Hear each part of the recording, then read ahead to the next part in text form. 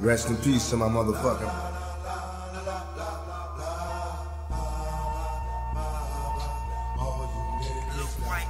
I reminisce on dangerous summers was just a thug nigga working for drug dealers in neighborhood. Run about the age of 13, we was gunning and it was fun to see the police running. Niggas disappear when we come in live. Nappy head shorty, addicted to drinking 40. My niggas is naughty and y'all niggas is fucking corny. But you left me in the summer of 89, a very good year. Crack cocaine sales rose in every hood.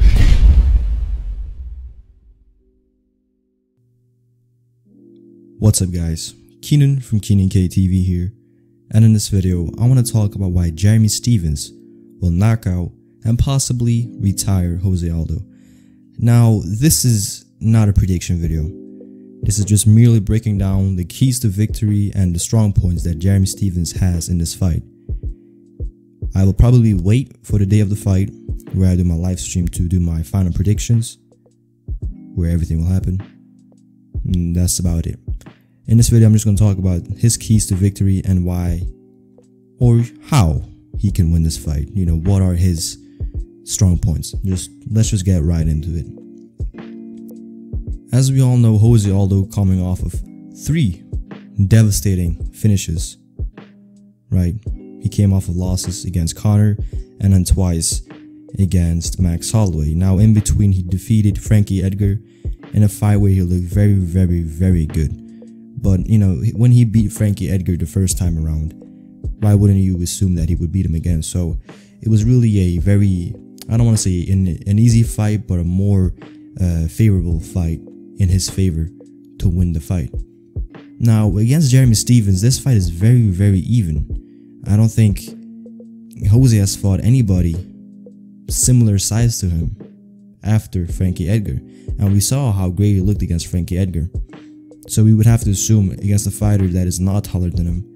Well, you know, Stephens is only an inch tall and has an inch advantage in reach, but they're virtually identical. So going off of that, I would have to assume that Jose Aldo is not going to have to really deal with a lot of range, right? Conor McGregor was a very rangy fighter. You know, he's probably the best fighter at understanding range and just timing. Very, very, very excellent athlete. Then we have Jose uh, Max Holloway, very tall fighter. Uh, he didn't have long reach, but he knew how to use his height as an advantage. And Jose Aldo just really couldn't find a way around it and just ended up gassing, got finished. Now, against Jeremy Stephens, like I said, they're both very even in height and reach. So in this fight, will we actually see Jose Aldo get the chance to perform at his best? Really, if you think about it, this is a fight since Frankie Edgar that is really um, a breath of relief, right? Because he don't he doesn't have to fight somebody who's taller than him in Ranger. But Jeremy Stephens poses a lot of threats. He is very, I don't want to say rangy, but he can explode in and explode out. He is very quick with his reactions, similarly to Jose Aldo himself. Now, the only difference that both fighters have is Jose Aldo is a bit more versatile and has speed, whereas Jeremy Stephens is very explosive also, very similar, but he isn't as fast as him and he has a lot of power. Now, like I said in the beginning, Jose Aldo came off of three stoppages in his last four fights, which he lost, by the way. Right? Uh, just to you know, I don't want to have, I don't want to have anybody correcting me in the comment section. Um, actually, he didn't. Um, he actually. Uh, no, shut up. You know, you get what I mean, right? You get what I mean. So, that being said, right, him being 31, him coming off of three stoppages, is he really come to a point where he's deteriorated and really will he be put away with a big shot that lands by Jeremy Stephens? Because a prime Jose Aldo against a prime Jeremy Stephens, you know, whatever Jeremy Stephens that may be, because he's he's always been a very consistent contender. He was never really he never really got to the point where he is today, but is he really in his prime, right? Because if you think about it, the the competition is slowly decreasing, and you know there are a couple of young fighters that are coming up. So Jeremy Stephens being very consistent helped, um, you know, with that, uh, with his spot that he has right now. But we really have to think about it. Is Jose Aldo chinny now? Did his chin get cracked? Because if you think about it, and if you look into it, Jose Aldo fights very up close, right? The Jose Aldo that we saw in the WEC days. Not even really in the UFC, but he really was great with leg kicks. And I don't know why, but I believe ever since the Chan Sung Jung fight, he was never really the same with his leg kicks. I think he prioritized hand speed over his leg kicks. Now, which is not a bad, you know, takeaway, right? Um, his leg kicks were really devastating, but if you have a fighter that can time it right, he can, you know, he, that's a lot of trouble. Now, him going with hand speed over leg kicks is probably going to work in his favor against Jeremy Stephens. Now, up close, he can use his speed. You know, he can get in and out. He can do that. But Jeremy Stephens also likes to fight in close, right? And he's very powerful. So he might just, you know, flurry, throw a lot of combinations as he does. And Jeremy Stephens might throw a punch with him. And he can crack him on the chin and it will be all she wrote. That is a high, high possibility. And I believe Jose Aldo, I think he does realize this. He does realize this. And will this have an, an impact on him mentally? That is what we will have to wait and see, right?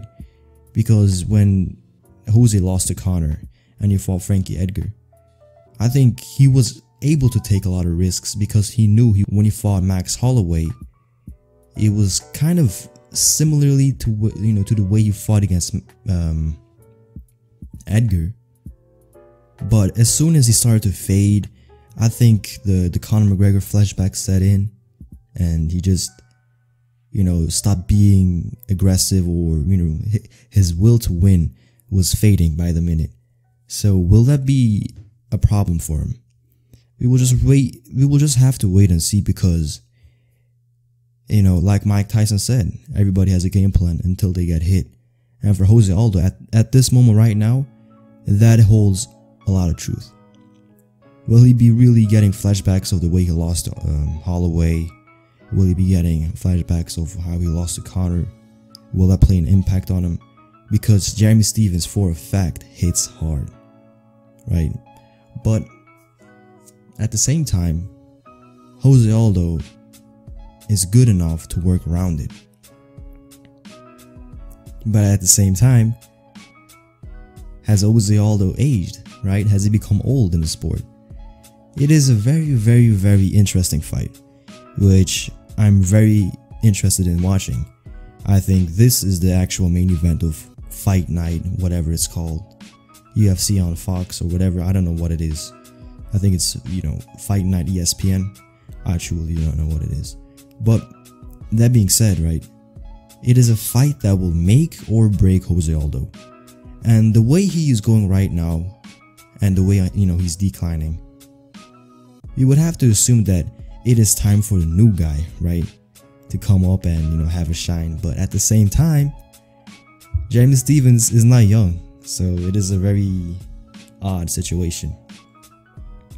It is a perfect fight for both fighters. You know, it is a do or die, make or break fight for both. If Jose Aldo wins, then he can get a crack at um, Ortega or you know whoever is holding the belt. Because, in my opinion, I don't think you will see Max Holloway back in the octagon. Um, but let's just assume that he wins. Jose Aldo wins, and he gets to fight Ortega.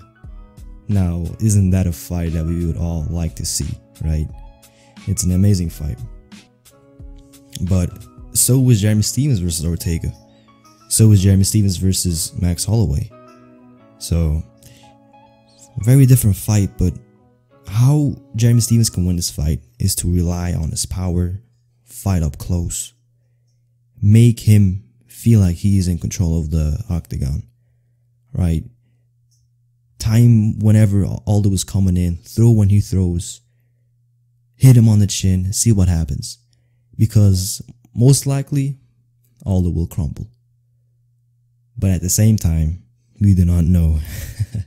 it is a fight game after all. So, what do you guys think? Leave it all in the comment section down below. As always, I'm Keenan from Keenan KTV, signing off. Later.